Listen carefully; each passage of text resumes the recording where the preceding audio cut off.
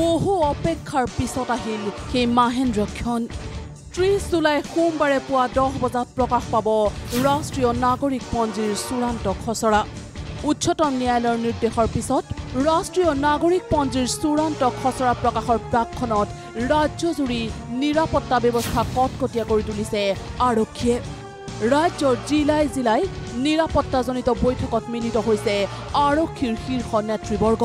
N R চিৰ চূড়ান্ত খচৰা প্ৰকাশৰ পিছত ৰাজ্যৰ কোনো প্ৰান্ততে যাতে কোনো ধৰণৰ অপ্ৰীতিকৰ অথবা বিশৃংখল পৰিস্থিতিৰ সৃষ্টি নহয় তাৰ প্ৰতি চোকা দৃষ্টি ৰাখিছে অসম আৰক্ষীয়ে।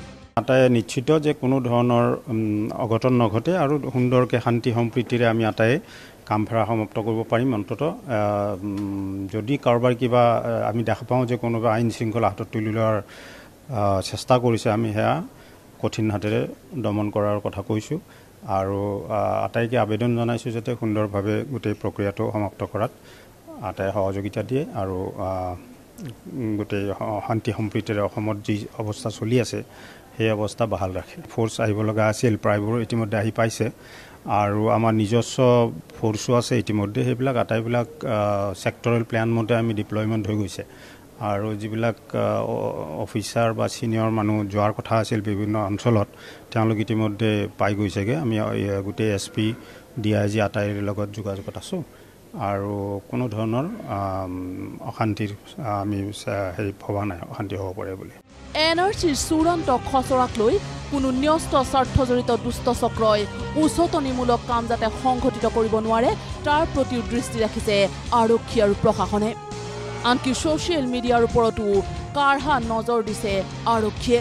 ছ'চিয়েল মিডিয়াৰ জৰিয়তে যাতে কোনো উৰা বাতৰি বিয়পিব নোৱাৰে সেই সন্দৰ্ভতো তীক্ষ্ণ দৃষ্টি ৰাখিছে আৰক্ষী আৰু প্ৰশাসনে। কোনো ধৰণৰ উৰা বাতৰি বা ভুৱা প্ৰচাৰত কোনো ভুল যাব নালাগে। কোনোবা দুষ্কৃতিকাৰী বা কোনোবা যদি বদমাছ মানুহে এই ক্ষেত্ৰত সুবিধা ল'ব বিচাৰে সেই ক্ষেত্ৰত আমি সজাগ থাকিব লাগিব আৰু তেনে ক্ষেত্ৰত তৎক্ষণাত আৰক্ষী বিষয়া পুলিচ ষ্টেচন ডায়েল হাণ্ড্ৰেড বা S C P additional D C P D C P যিসকল আছে চাৰ্কেল অফিচাৰ মেজিষ্ট্ৰেট যিসকল আছে তেওঁলোক যাতে তৎক্ষণাত জনোৱা হয় যাতে আমি ষ্ট্ৰং একশ্যন খুব কঠোৰ ব্যৱস্থা এইসকল শক্তিৰ বিৰুদ্ধে ল'ব পাৰোঁ। মুঠৰ ওপৰত এন আৰ চিৰ চূড়ান্ত খচৰা প্ৰকাশৰ পিছত ৰাজ্যৰ আইন শৃংখলাজনিত পৰিস্থিতি নিয়ন্ত্ৰণ কৰি ৰাখিবলৈ সম্পূৰ্ণ পদক্ষেপ গ্ৰহণ কৰিছে অসম আৰক্ষীয়ে। যথেষ্টখিনি আমি ৰাইজৰ লগত সজাগতা সভাও পাতিছোঁ আমাৰ আৰক্ষীৰ তৰফৰ পৰাও। আৰু সেইবাবে আমাৰ কেন্দ্ৰীয় চৰকাৰ তথা ৰাজ্য চৰকাৰৰ পৰা আমাক যথেষ্ট পৰিমাণৰ আমাক এডিশ্যনেল ফ'ৰ্চো দিছে। এই ফ'ৰ্চখিনি অলৰেডি আহি পাই গৈছে যিমানখিনি আমাৰ ধুবুৰী জিলাৰ কাৰণে প্ৰয়োজনীয় সেইখিনি আমাৰ অলৰেডি আহি পাই গৈছে। আনহাতে নিৰাপত্তাজনিত কাৰণত বৰপেটা জিলাত জাৰি কৰা হৈছে এশ চৌৰাল্লিছ ধাৰা। এশ চল্লিছ ধাৰা এটা আজি মই জাৰি কৰিছোঁ মানে আনলফুল এছেম্বলি কৰাটো আমি নিষিদ্ধ কৰি পেলাই আজি আমি এটা আইন আজি মই এশ চল্লিছ ধাৰা জাৰি কৰিছোঁ যাতে কোনো ধৰণৰ কোনো ধৰণৰ আগ্নেয়াস্ত্ৰই হওক বা অন্যান্য লৈ পেলাই অস্ত্ৰ শস্ত্ৰ লৈ পেলাই বা আনলফুলি গেডাৰিং বা মিটিং নকৰিবৰ কাৰণে আমি আজি এটা নিৰ্দেশ জাৰি কৰিছোঁ।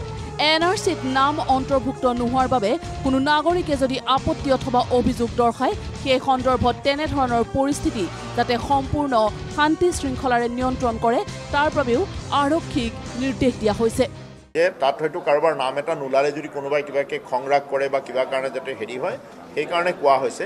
আৰু তাৰ বাহিৰে মই যেনেকৈ ক'লোঁ কাৰোবাৰ নাম এটা নোলালে কোনোবা এজনে যাতে ইটিকিং কৰি বা বেয়া ব্যৱহাৰ কৰি সেইটোলৈ এটা ছিটুৱেশ্যন ক্ৰিয়েট কৰিব নোৱাৰে তাৰ প্ৰতি আমি চকু ৰাখিম। গুৱাহাটী মহানগৰীতো ইখনৰ পিছত সিখন নিৰাপত্তাজনিত বৈঠক। সকলোবোৰ ৰাজনৈতিক দলৰ লগতে শীৰ্ষ আৰক্ষী বিষয়াৰ সৈতে গুৰুত্বপূৰ্ণ ৰুদ্ধদ্বাৰ বৈঠকত মিলিত হৈছে। মুখ্যমন্ত্ৰী সৰ্বানন্দ সোণোৱালো ৰাষ্ট্ৰীয় নাগৰিকপঞ্জীৰ চূড়ান্ত খচৰা প্ৰকাশৰ প্ৰাকখনত কটন বিশ্ববিদ্যালয়ৰ সুগমাৰ্চন হলত আৰক্ষীৰ এখন গুৰুত্বপূৰ্ণ বৈঠক। মহানগৰীৰ আইন শৃংখলাৰ বিষয়খিনিও পৰ্যালোচনাৰ বাবে অনুষ্ঠিত হৈছে।